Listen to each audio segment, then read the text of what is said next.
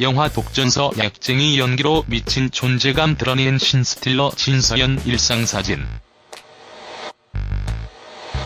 인사이트 윤혜경 기자 흥행가도를 달리는 영화 독전에서 파격적인 노출과 실감 나는 마약 연기로 신스틸러로 떠오른 배우 진서연. 진서연은 입소문을 타며 많은 관객을 극장으로 불러들이고 있는 영화 독전에서 중국 마약 시장의 거물 진하림의 파트너 보령 역으로 등장했다. 극중에서 진서연은 마약에 중독된 약쟁이의 모습을 너무나도 실감나게 연기했다는 평을 받고 있다.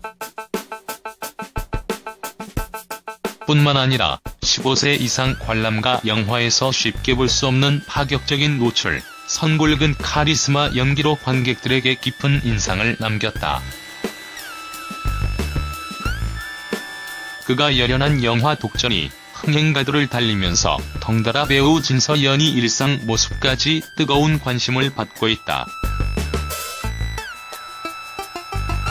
배우 진서연이 인스타그램을 살펴보면 그의 일상 모습에서도 남다른 카리스마를 느낄 수 있다. 그가 공개한 게시물에서는 사진 한 장 한 장 모두 시크하면서도 세련된 패션 센스가 돋보인다. 진서연은 전반적으로 베이직한 의상의 한 가지 아이템으로 포인트를 주는 편이다.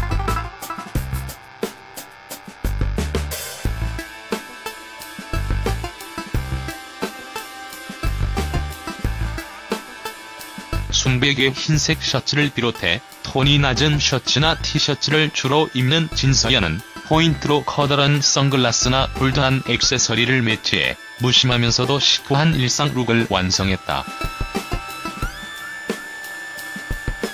여기에 크게 손질하지 않아 자연스러운 숏컷과 매끈한 민낯은 더욱 진서연의 털털한 걸크러쉬 매력을 돋보이게 한다.